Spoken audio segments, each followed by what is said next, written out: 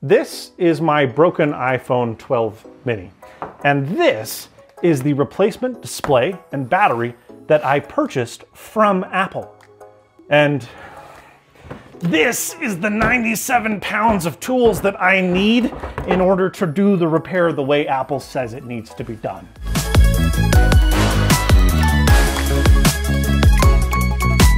Okay, so in case number one, which is the small Pelican case, if you can believe it, we've got, okay, this is the uh, heated display press. Oh, it actually, there you go. It's tool contents of what goes where, so you can be sure where to put that back when you return it. You've got a packing list that just says, this is case one. I've got a return label, and then instructions on, you know, what to do, even though I had to read the whole manual before they'd even let me order this thing. Okay, so there's the heated display press. That thing's pretty heavy. We've got the, okay, so this is the actual heating element tray um, where we insert the phone and it heats up the sides uh, to loosen the adhesive uh, around the display. Um, this is in contrast to a lot of aftermarket stuff where you put the display face down and it just heats up the whole kind of display. I'm assuming this is more targeted heating for the actual uh, adhesive, so that's cool. And then Wait a minute. Hold on.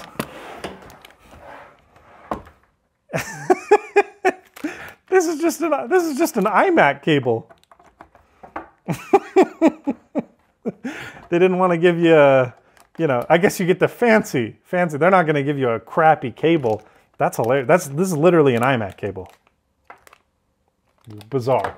Okay, and uh, then we've got our two little uh, things that we use to return the device. So yeah. Okay, I want to see what's in this one because this is really freaking heavy. this is the big Pelican case. Oh my gosh. Oh, there's side ones. Wow. Very secure. Oh, wow. Okay. So right here on the side, oh, we've got our nice torque drivers. These are Wera. Um, Apple uses Wera in their stores. They used to use Wiha and now they use Wera. I know that because of the design. I'm a big Wera fanboy. Excellent tools, not cheap, but really, really good. Okay, over here, it looks like we've got an adhesive cutting tool. This is for the um, adhesive press, which I think is this thing. We've got a couple suction cups, uh, one of these little tools you can get from Alibaba for three cents. And then, so even Apple uses cheap tools. And then we've got our uh, display covers to protect the front and back glass. Okay. Then we've got the return tags. We've got documentation. This is our little work tray. Interesting. It looks like aluminum, but that's not. I don't know if it's Delrin or something. It's been machined, milled. Fascinating. Okay, so we've got that. This is our battery press, which we'll demo. Basically, this tray sits in there somewhere. Yeah, something like that, sure. There you go. And then slides back and forth.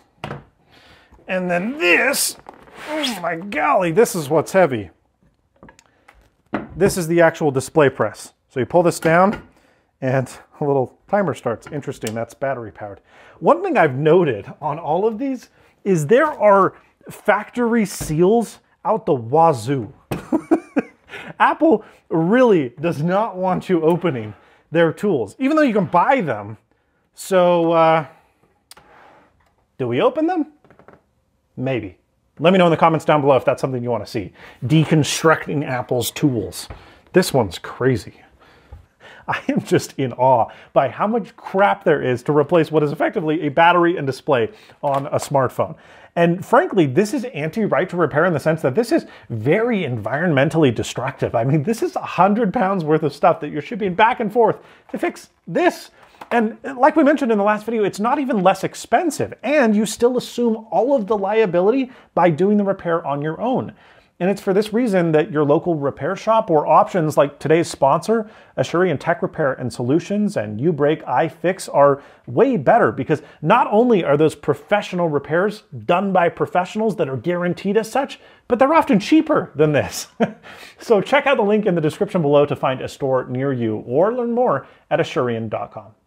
But let's get into the repair itself, starting with removing the display, I guess.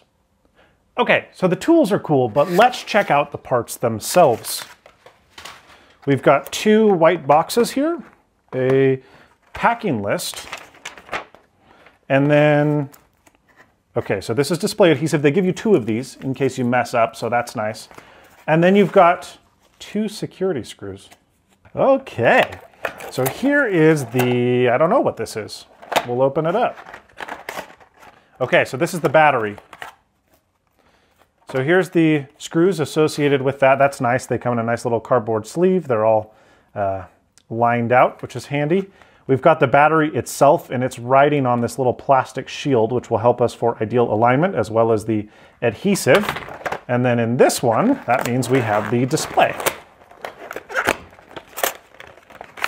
And sure enough, yep, same deal. So we've got a little screw kit here. Nice. That's very Apple-like actually. And then here, we've got the display itself. So it's got a nice plastic wrap on it. And yeah, that's just the, the bare OLED panel and digitizer. Holy smokes.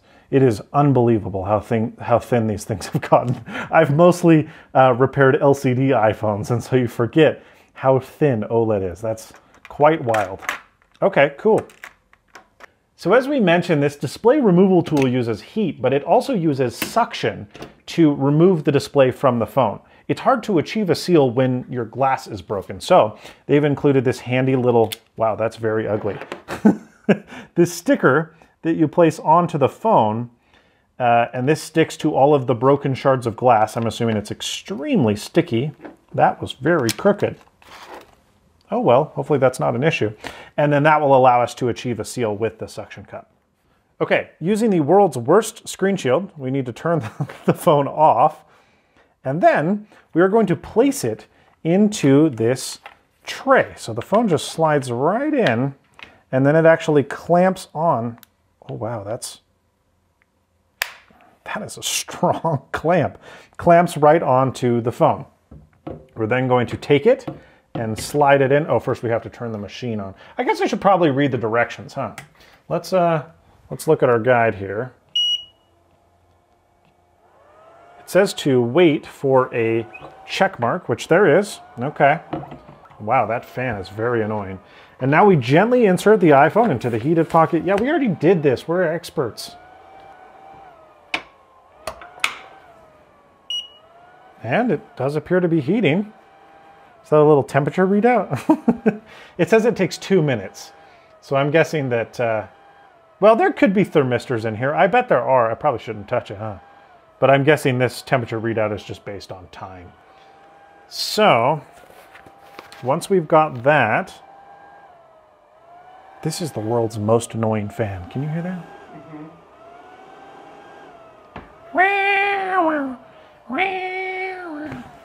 Oh, now it times. Ah, so maybe it was just heating up? I don't know. Dude, the fan curve on this thing is unbelievably weird. okay, 20 seconds. I guess I should figure out what to do. um, I have to lower this, it looks like, almost all the way to the bottom, and then I'll slide the suction cup up, uh, align it with the display, tighten the suction cup, and then I slowly twist in the other direction to uh, pull the display and the chassis apart. It says that if it doesn't happen immediately, to wait 30 seconds. I wonder if that's to heat soak it. Oh my gosh. Is it gonna do this the whole time? Okay, all right, Let's calm down. So we'll lower the cup down, but not let it touch. That's pretty close.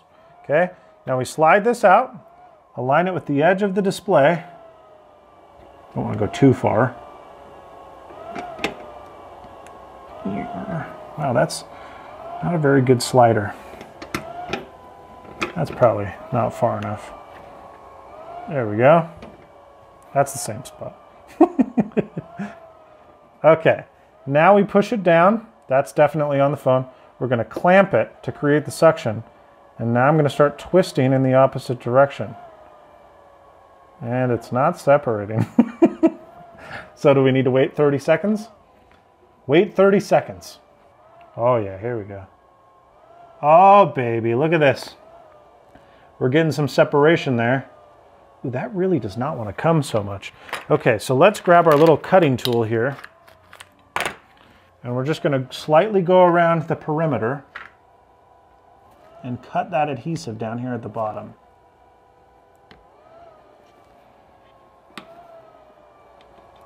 Here's what, here's what they need to give you. Another tool. Because you need to, there we go.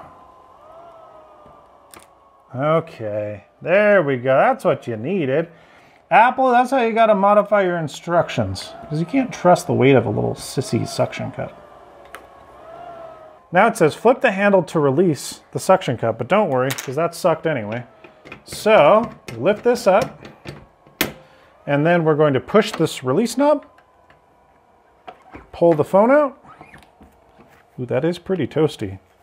And then we're gonna pull this pocket out. We grab the display by the top so that we don't re-adhere everything. We'll shut off this very annoying machine. And then I think we place it into our new mold. Oh wow, that's extremely tight. Nice. So now I have to get the top adhesive off. It says slide the bottom of the phone towards you slightly as you insert the edge of the adhesive cutter. This is not hot at all, by the way, so that, that thing must not get too toasty. Yeah, see, that is like completely stuck. It's just not hot enough. I'm taking uh, creative liberty on the manual. Are you ready?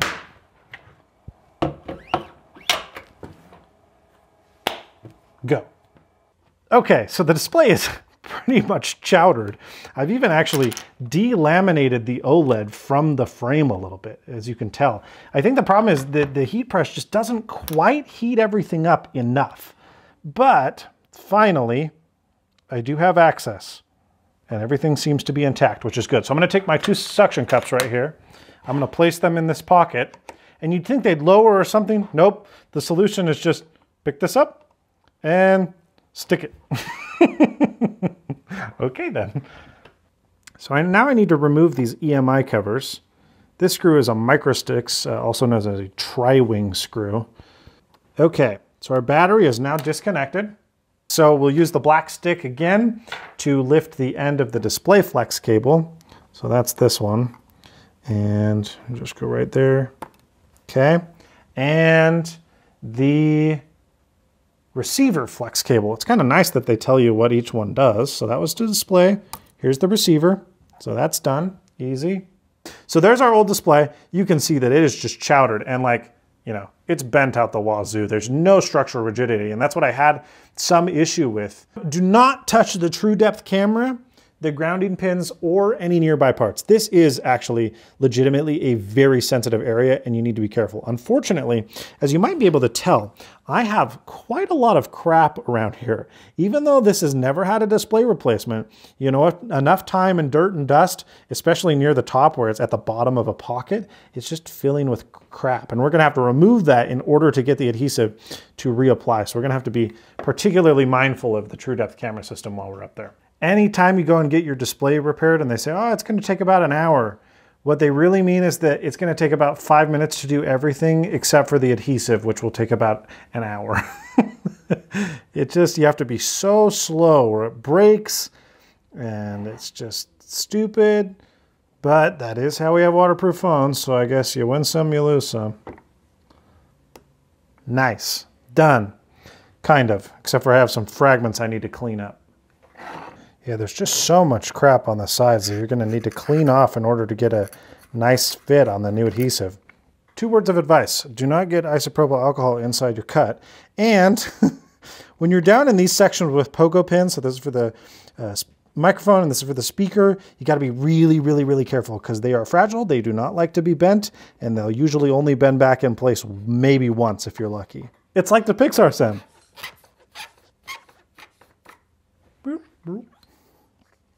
That took forever. Now that we've got the display, we need to reinstall it. But let's not forget, we've got a battery replacement. Use ESD-safe tweezers to grasp the bottom right battery adhesive tab and gently peel it from the battery. Now we're gonna pull at a 45 degree angle and you twist as you pull at that 45 degree angle. Come on, buddy. Don't snap on me. Don't, it snapped on me. Okay, so we broke two of the four strips. That's not entirely uncommon, especially if the phone has been exposed to excessive heat. It tends to kind of degrade over time. Um, if you've broken all four of them, you're just done.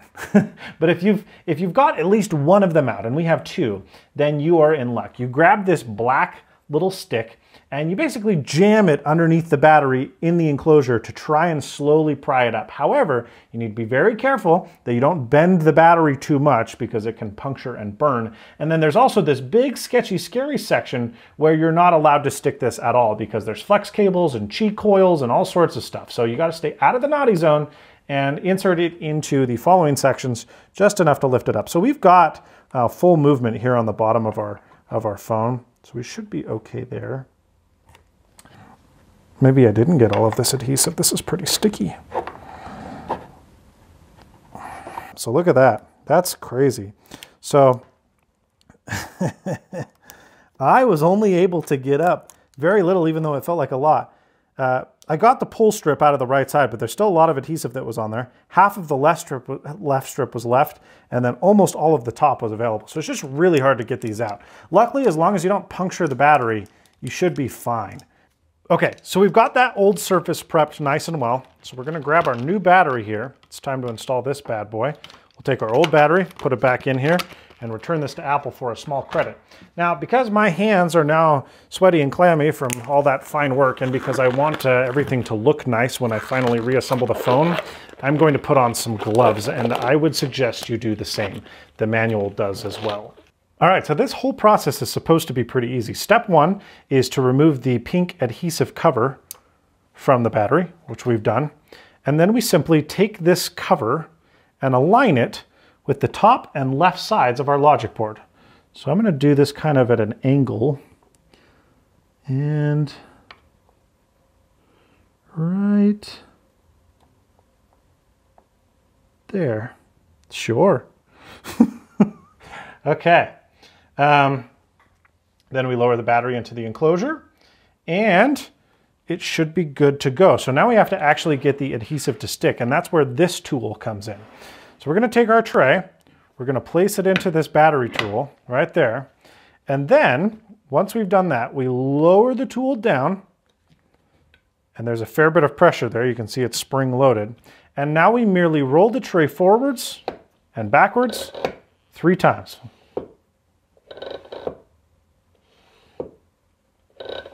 Good thing we have this tool. That could not be achieved with a couple of fingers. I don't really, okay. I don't really know if that was strictly necessary, but great, okay.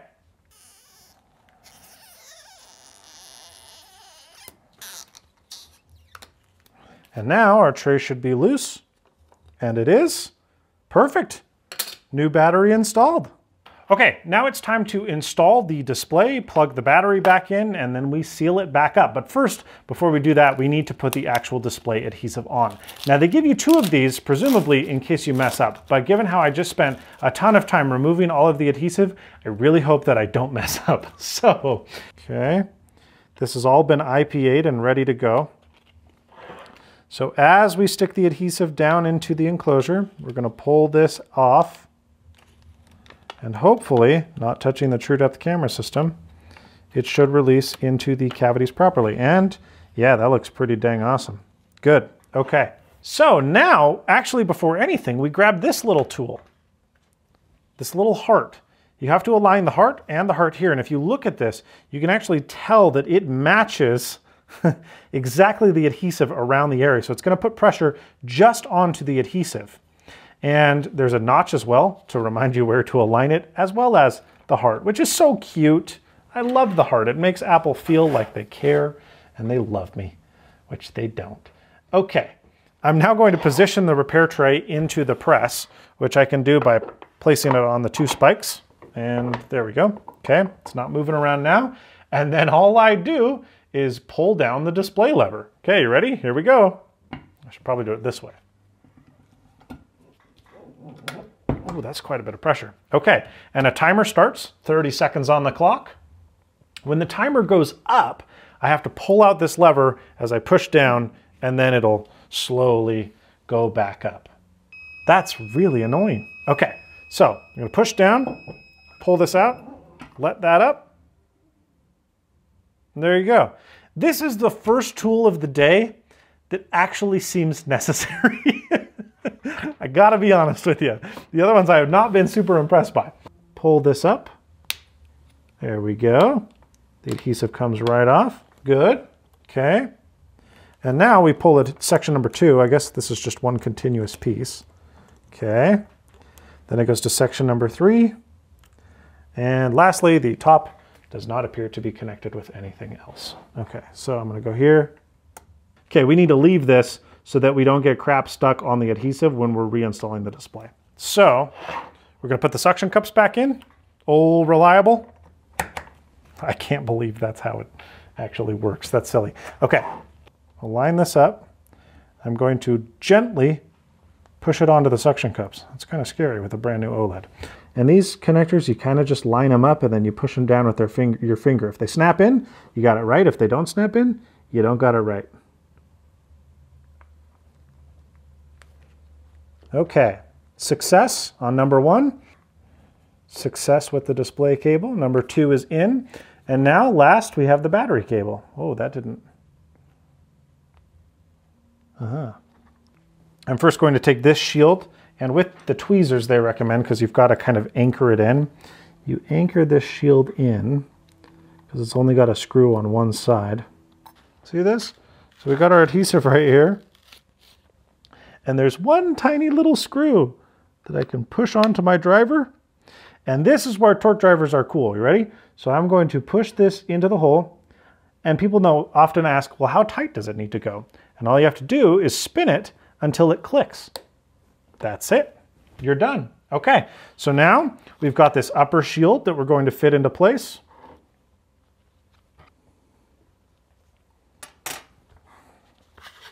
And the same situation. We pull up this cover. It reveals all of the screws and they match the pattern on the shield, which is so freaking nice. That's a really smart way to do it. I'm assuming they do that in the Apple stores as well, but I don't really know, but that's handy. These are so tiny. Like the last phones I, re uh, I repaired frequently were the iPhone 7. And let me tell you, the screws in that phone were monstrous by comparison. Okay, so now we're just going to torque them all down. Good. Good. Now it's time to place the display back down and press all four corners of the display simultaneously. So let's remove this cup, remove this cup, get these suction cups out of the way. And now being very careful to make sure that we don't fold over any of our cables because that can happen and it's not good, trust me. Okay, looks like we're good there. It just says take the four corners and push down simultaneously. Okay. And that says ensure that there isn't flex in the edges, which there's not. We have a perfect seal. So I'm assuming we have to put it back in the press. Yes, we do. I'm like, surely that is not enough pressure for it to be just good to go. And that's it. It's just the phone this time. And looks like there's spring-loaded sections that address that area. So we'll do this one more time. Is this loaded? This tool's cool. I like this one. Um, that's pretty handy. That's, if I owned a repair shop, this would probably be the only one I would buy, honestly. Okay, there are two screws. So they just give you doubles and triples and quadruples of everything in case you lose them. Those are very tiny screws, so I guess, you know, it's not unprecedented that you might lose them. Okay, so these screws are very interesting because they're, they're like long shafts, but then they're only threaded at the end.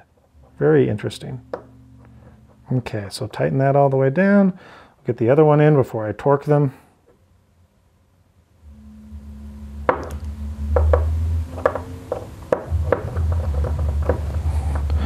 Okay, ready for the click? Good. Torque, click. Nice. And we're done. In theory, this should turn on. See if it does. It did say that the battery was made in 2020, so it's very possible that it's completely dead. Um, and I'm hoping that's the case because nothing is happening. Let's get a lightning cable, huh? Okay, moment of truth, fingers crossed. Plug this back in and push the power button. And, oh no, oh, whew. I got a little scared there just for a second. Oh yeah, that looks fantastic. Brand new. Now we get to the weird part. Okay, so it just booted up. Let's see if the touchscreen works. It does. Face ID does not. so that's a little spooky because it didn't prompt me to enter the passcode. Mm-hmm. This is symptomatic of not using genuine parts. So let's check at least if our cameras are going. That they are. Okay, that's good. There's a notification that happened. I'm in Do Not Disturb, so it didn't show up, but it says important battery message. Unable to verify this iPhone has a genuine Apple battery. Health information not available for this battery. Important display message. Unable to verify this iPhone has a genuine Apple display. So that's kind of spooky. Let's call this number because that's what it tells you to do. Once you've completed the repair, as I mentioned in the last video, Apple stores just have the software on hand, but I don't. So we'll see how this experience goes. Welcome to the self-service repair support line. Please note once connected to a live agent, system configuration takes approximately 10 to 15 minutes to complete. Wow. If the repair performed with a display, battery, or camera, please press 1. All other repairs do not require system. Hello. Hi. Thank you for calling. Can you confirm the repair that you um that you did?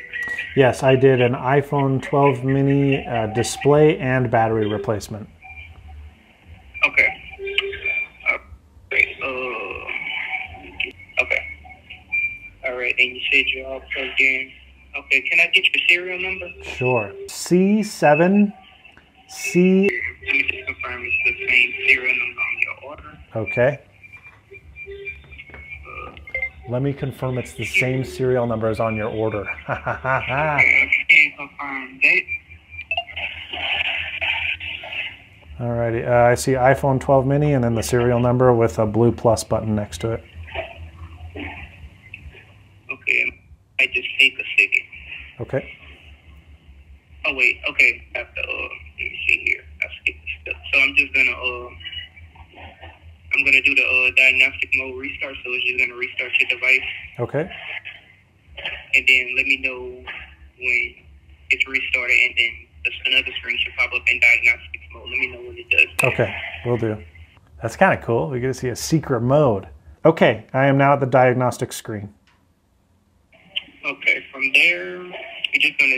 Uh, so next, we're gonna tap Start Diagnostics, Okay, and then you choose your Wi-Fi network that is connected to the internet, okay. And agree to the terms and conditions. Please confirm when you see waiting for support.